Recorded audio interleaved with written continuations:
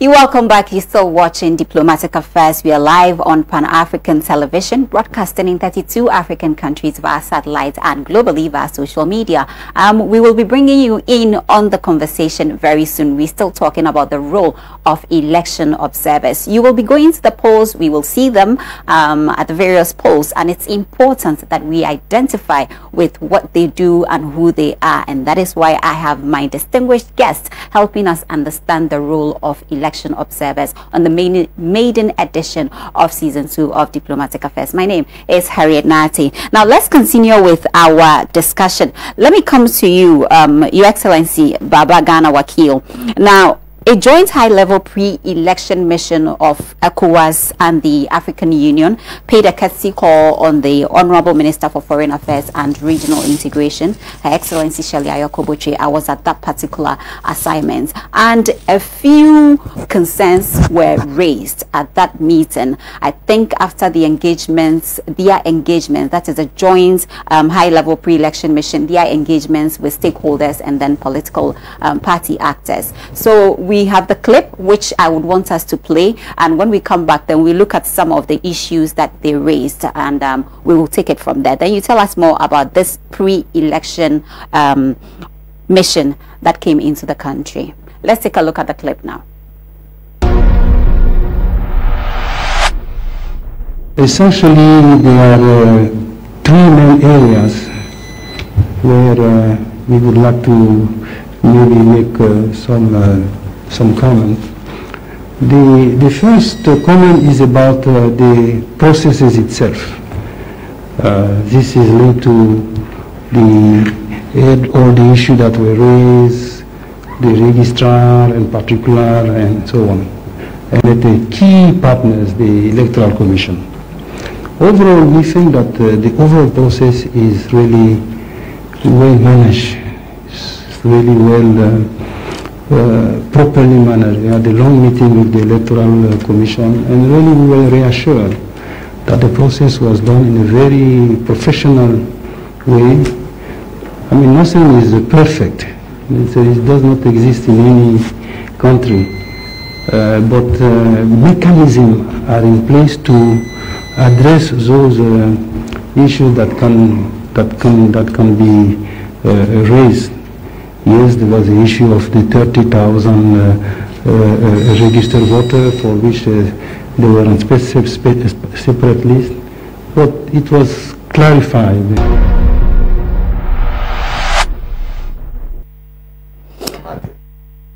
So that's it. Um, um, so we just watched a video clip of um, a joint high-level pre-election mission of ECOWAS and that of the African Union, um, who paid a courtesy call on the Foreign Affairs Minister, Shirley Ayorkor Botchwey, and um, they discussed a few issues. Now, three key issues came up at this meeting. Um, I'm going to mention the first one, the electoral processes, which is the deleting, they, they actually talked about the 30,000 names that was deleted from the um, registrar. And that was one of the key issues that they mentioned. Before we talk about that i know i will come to Sheikh but um, your excellency briefly just tell us i'm sure somebody will be wondering what is the pre-election mission? Um, what do they do? Why pre-election? I i understand it what it means but i'm sure somebody watching us may not be able to you know um, relate to it. What is that all about? Thank you very much. Simply put, the pre-election mission is on a mission to find out the state of preparedness of all the major key electoral actors, principally the election management body, which in Ghana is the National Election Commission. How prepared are they? How organized are the uh, political parties? How is the campaign going on? How is security being provided for, for the elections? And in doing this, the pre-election mission, which is a high-level mission, meets with all the heads of these agencies, including ministries. The pre-election mission which is joint with AU and uh, ECOWAS, ECOWAS. met before meeting the Minister of Foreign Affairs, met with the Minister of Internal Affairs, Mm-hmm. the Minister of National Security, the chairperson of the Election Commission, the Inspector General of Police, who is in charge of the National Election Security Task Force. The stakeholders. Yes, all of them. The National Peace Commission on face-to-face, one-on-one basis. The National Council on Civil Education. These are all very active players in the election cycle, in the election environment. And we met with each and every one of them last October, Okay. uh, before we came to the Minister of Foreign Affairs, who now is in charge of, of course, international organizations and uh, foreign influences or foreign interventions in, in Ghana. So we told her what we have been doing for the last three, four, in fact, it's like about nine days. And uh, we communicated to her the concerns raised about vigilantism. Right. Yeah, that also came up. Yes, it came up about voter registration Mm-hmm. and the missing uh, 30,000 that you mentioned. Names. Let me just say something about the missing 30,000. It's not actually deleted, Mm-hmm. it's quarantined. And uh, as far as the chairperson of the Electoral Commission is concerned, it has been reduced from 30,000 Mm-hmm. to 540 only. But as the Sheikh mentioned, uh, each vote, even You one vote out can of make the a difference. out of the thirty thousand names? Yes, You say uh, are quarantined Only- has reduced um, the number reduced to five hundred and something. 540. 540. Yeah. Um, 500 Even these 540 mm-hmm. will, if they are present in polling stations, will be able to vote manually. Manually, once mm-hmm. they are confirmed to have a case, they will still be able to vote. Once the the, the case of underage voting, the case of multiple registration mm-hmm. are sorted out, because this is why the 30,000 is quarantined. Okay. Yes. All right then. So, well, I, I, I think we will talk about that later. Um, I will find time to go deep into that or, you know, read more on that um, because I believe um, this is new um, um, to me and I'm happy that at least we, we have someone to, to, to uh, expatiate on that. Now, um, Sheikh, I think that, that was just one of the three concerns raised um, when they had that meeting at Maybe the just Foreign to Affairs add- Ministry. Just a, a little. Right, please. Um, I'm happy Excellency mentioned that the the communication need to be done carefully because what people are saying is is been deleted. yes. If you delete, it means that a person's name has completely been taken off and out of not- the Uh-huh. register. But what he's saying is that you have quarantine, and in the quarant- quarantine, there are two categories. There are those whose registration were objected to, and they needed to sort out that objection so that they will be brought back on the list. And there are some of them who whose case went to the court, and the court had ruled in their favor. And so therefore their name had been restored and that they will have the right now to to vote. And there are, in fact as we speak now there are still the, the courts are still making rulings. Uh-huh. But that there are also the, the, the list of those who did multiple registration Okay. uh-huh. because the the biometric machines uh, were not communicating with each other All right.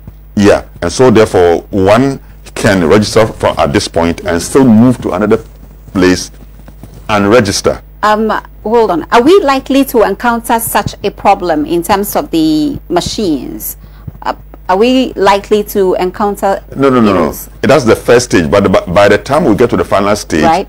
all the machines would have been synchronized. In fact, Okay. it's, it's the synchrony that was able to detect those names that were that did the multiple, you know, Mm. Registration. registration. And so such names were also isolated. All right Uh, then. Exactly. Um, and, and then doing something about them Mm-hmm. for such multiple registration, then um, if it is not corrected, Mm. Um, you will lose your right to vote on that day. You won't uh, be able exactly, bec exactly, because you have violated. All right. You know, Great. Yeah. So my producer tells me the second concern that was also, like I said, three major key issues came up, and the second one was the um, the thirty thousand names. Um, you said quarantined and now it looks like it's been rectified and the numbers have been the number has reduced to mm. 500 and something 40 you said 540 now the second one is that you also mentioned the issue of security surrounding the elections um, such as the issue of vigilante going to the polls and you feel insecure and you know you people even wouldn't want to go to the polls because they, are, they feel unsafe if I am not safe, why do I have to go to the polls? I understand the clip is ready. Let's take a listen. Let's watch the clip and then listen to what transpired at the meeting.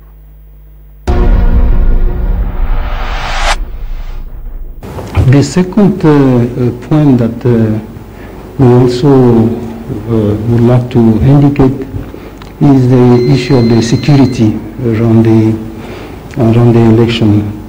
Uh, we have uh, had a very long discussion with the two ministers in charge of security and uh, interior. Uh, there was some issue about uh, the vigilante and the risk that they could cause the threat. But we want to say that we really commend the effort that were made, a very important decision made by the authorities to really address this issue and all the action that are planned to ensure that really the security is really uh, adequately uh, addressed. Right, so that was the president of ECOWAS Commission, Jean-Claude Kassi Brou, um, in uh, with the Foreign Affairs um, Minister at the ministry and um, some of the issues that came up when they met with the stakeholders um, for ahead of December 7. Now, the issue of security, which we already mentioned, I'll, I will let you expatiate on that, Sheikh, and then the meeting with the two ministers in charge of security, that is the National Security Minister and then the Minister for the Interior. So we will talk about that. Um, what do, briefly, we don't have much time, but briefly, what do you make of the issue of insecurity? Currently, it looks like the atmosphere is very charged and very sensitive. What do you make of that issue? Uh, yeah, it is true. I mean, uh, largely, uh, some political parties do not have trust in our, I mean, security architecture. Um, with hindsight, I mean, going back to what happened during the Ayawaso West, West Wuogon and, and what happened. So there's a certain mistrust about how the police will be able to do its work. Um, secondly, vigilantism by law has been disbanded. By law? By law. On the ground? But on the it? ground it is there. Okay, so we Probably, can say it is still dis disbanded. No, no, no. I mean, in other words, if you come out and say you, you have you have vigilante, you can be arrested because the law says don't do it. But that it is taking different form, and the different form uh, is so uh, invisible uh, because it, it's a mindset. Mm -hmm. It's a mindset now. And the political parties are telling their members that elections are won at the polling stations. Yes. So that kind of vigilance or over vigilance mm -hmm. is where the operations of the uh, vigilantes can be can be found. The type of people that will be brought there, mm -hmm. and uh, how people will be waiting around to see exactly mm-hmm. uh, what happens. Um, incidents of violence that could arise, especially in matters of controversy that arises where, uh, let's say, somebody is going to vote and an issue is raised about his vote, either his identity or, or his age or something. These are matters that needs to be handled carefully mm -hmm. because it could give grounds for escalate into something exactly, else. and that's where the security uh, needs to be on the alert. As, as we speak now, mm -hmm. the police have identified more than 6,000 6,000 uh, what do you call it hotspots Yes. Yeah. Um, originally they mentioned 4,000. Mm. Now, now it's gone beyond 4,000 mm. around 6,000 6, plus, 6,000 plus. Yeah, and it's scattered around around the country. Now, when they say hotspots, is these are areas that are prone to violence. Uh-huh. So if 6,000 is scattered, so what, what, means that if contemporaneously, if mm it happens bam bam bam this mm -hmm. this way it means that can generate a lot of concern in the whole country so we what what but we have been assured by the police Okay. In fact, there has been meetings where the police have given us all the, the operations and the levels, the form of action that they are going to take, and and they are even now doing some public work, uh, are are registering their presence for people to know that they are ready to deal with anyone who disturbs. But that what we are saying is that we want them to handle the matter um, with so much caution uh, and also even-handedness to ensure that um, we don't create fear in an environment Uh-huh. because you want an environment that people feel confident to come out and cast their vote. Right. Once you do anything that creates fear, they will remain Exactly. exact. They so won't come out They won't come out, and and, that will so, be a problem. So we hope that the police will be able to handle. hopefully Yeah. hopefully we hope so we hope so now um so um let's go to after the concerns were raised um, there were a few recommendations as well and um, let me just um, read what I have here from the president of ECOWAS Commission, Jean-Claude Kassi Brou. It says the president reiterated that the mission would insist that the dialogue is deepened um, between stakeholders to increase the level of confidence and decrease the tension. Now, what do you make of that? These are recommendations. These are recommendations. I'll come to you, Your Excellency. These are recommendations. It's just one of the many recommendations um, that took place at the at, at the program at the ministry. Um, are you hoping to see that this actually takes shape? Uh, they are not just mere recommendations. Uh, it's somehow it's it's it's it's something that we take seriously and work towards. Yes, uh, these things are happening in the electoral environment continuously. And uh, the ECOWAS, for instance, is involved also continuously. Just three days ago, we came back from Kumasi, where we met with regional actors Okay. after having met with uh, uh, actors in the capital, we went to the regions where we met traditional rulers, the regional police commissioner, for instance, the regional electoral commissioner for uh, National Electoral Commission, the regional officials of the Peace Council, so that the message is stepped mm-hmm. down Yeah, sure. to the grassroots. Mm-hmm. The district levels came up to Kumasi. Mm-hmm. And we have been discussing all the things we have been discussing at the uh, at the national level in Accra hmm. with these people, and we are getting assurances Okay. and commitments All right. from all these people because it starts with the leaders. Mm-hmm. The youth have the energy Right. to unleash, but if the the the leaders, the elders, socialize them, hmm. educate them, Yeah. they will not. They have effect violent. on them. Yes. All on right. the- so on the election understood. Now let's. You mentioned hotspots. I mean, the numbers have jumped from um, 4,000, Yeah, original 4,000 original 4,000 to plus. 6,000 plus. Um, when you do your, when you deploy observers, do you deploy them to these hotspots or you are able to cover the entire base? Because we have 275 constituencies. Yes. And then um, I mean, uh, close to 4,000, close to 4,000. 40,000 um, exactly. polling stations. Are you able to go cover the entire base or you deal with the hotspots? No, usually what we do, we do, uh, we send our observers to uh, um, sample, uh, sample selected um, polling stations uh, because we do not have the capacity to cover the whole. Yeah, uh, to- ex- to- especially when the when the numbers have been reduced, have been um, reduced. from with election Uh-huh. observers. Yes. Um, four years ago, the Yes. numbers were pretty high. Now it looks like the numbers have come Yes, down so, but that, even as we do so, there are areas where we know that it's a hotspot area, then we de- definitely will send people there specifically. Because we also look, we have in our, what we call a checklist, we have what we call critical incidents, uh, especially so that uh, those that we call the rapid response observers, uh, wh- which we have deployed, will be able to send us immediately Okay. there is occurrence of any incident Okay. and uh, based on which we are able to give midday report about the election uh, about the electoral environment. Um, CODEO usually, usually, according to our operation, at the beginning of polls, we make sure we deploy, mm.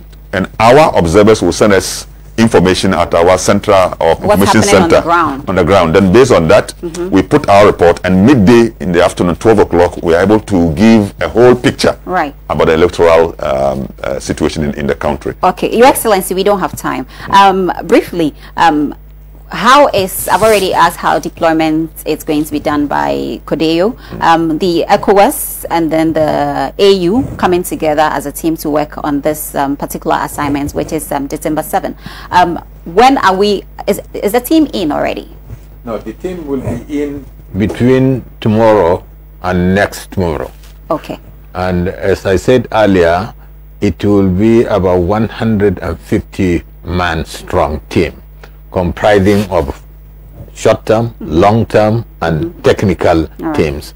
And based on the reports of the exploratory mission, that's the pre-election mission mm-hmm. that was done in October, we have also identified the flashpoints and the hotspots where we will make these deployments of our own election observers. These are trained observers. They have conducted uh, these election observation missions in other countries. Before coming to Ghana, before Ghana's election, as you are aware, uh, general elections were done in Ivory Coast, mm -hmm. in Guinea, in Burkina Faso. Mm -hmm. Now one will be done in, uh, in Ghana on December 7th. And before the end of the year, Niger will also have its own election. So we are committing a lot of uh, resources, a lot of technical expertise from the ECOWAS election database to see that one of our member states has a very successful mm. outing. And for Ghana, we do not really see much problems mm. because it has a track record of doing these elections uh, in a multiple democracy mm. since 1992. 92. Yeah. Right. So from where you sit, um, Sheikh, um, we, we, we, are wrapping up. Unfortunately, we, we don't have time. Um, from where you sit as the acting chair for CODEO, looking at the atmosphere and working with the stakeholders and then the, the, the various political parties and um, gauging moods, do you think we are good? Your honest opinion. Do you uh, think honestly, we I, are I good? Think, I think we, we are prepared for election, given the assurances, responses of the EC. Whenever there's an anomaly, it was raised, then uh, at least they are able to quickly address and, and give, give information. Mm -hmm. We've heard from the police what their preparedness, and we have seen it clearly, and so on. I mean, citizens have been educated, and still education is going on. Um, the mosques and the churches, opinion leaders are being brought together, and they are talking to, to people to calm down and make sure yeah and so on and so forth. So given that all these things uh, you know ghana is known to be a peaceful country. Right. by our nature we, we, we don't want violence. So i'm sure uh, i'm hopeful that we'll be able to go through this election successfully without so much incident. Your excellency what do you think? You have also been on the ground mm -hmm. gauging moves and interacting with all the um, the, the political actors, the stakeholders. What do you think? Do you think uh, we are fine to go? Actually, or as it is, we actually, just have to go? I am amazed at the level of synergy and interface between all the critical actors for the forthcoming election. I am impressed because I have seen how all these agencies, CSOs, NGOs, government authorities, all trying to see that the reputation that Ghana had in the last 7 mm -hmm. elections mm -hmm. will be maintained in this eighth election because they have been talking to each other. They have been calming nerves. They have been reaching out. So uh, really, I do not see much problem and I hope that I will not be surprised. I like that. yeah, you hope that you will not be surprised. Interesting. No, I hope we, we, we don't have any surprises. We are going to behave, we are going to be good, and um, we are going to be fine. So I, I think we are good. We won't disappoint you. We are, we are fine. We are fine. We are fine. We are fine.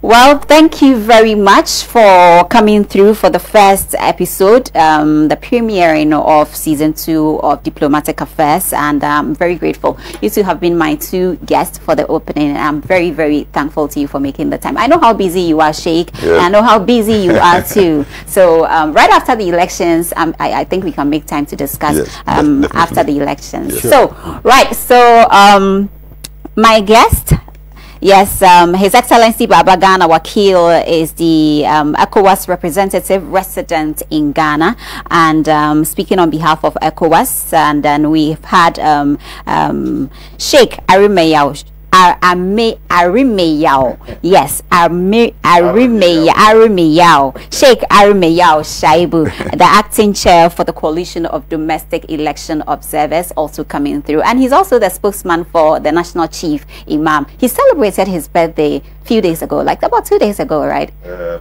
uh, no, I, I think we did it I think some months. Some, some months, months, ago. I need to come and pay a courtesy call on him. All right, and thank you so much for watching. This has been the maiden edition of season two of Diplomatic Affairs, which came to you live from the studios of Pan African Television every Saturday from 4 to 5. We are on your screens. Africa, 32 African countries via satellite, and globally via social media. So you can watch live. We'll be streaming live, and you get to be part of. This time around, we are promoting interactivity. We need you to be part of the show. So you share your views with us on all the subjects that will be treated on this platform. Same time next week, we will come your way. Remember, we are counting ballots and not bullets. Have a good evening. My name is Harriet Nartey.